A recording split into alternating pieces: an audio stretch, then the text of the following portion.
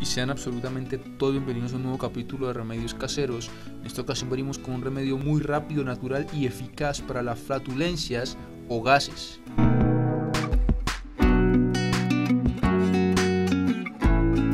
Si usted es de las personas que sufre constantemente de flatulencias o de gases o de pesadez en el estómago por algún motivo, lo que debe hacer es lo siguiente, hervir una taza de agua con una cucharada sopera de manzanilla y otra cucharada sopera de anís.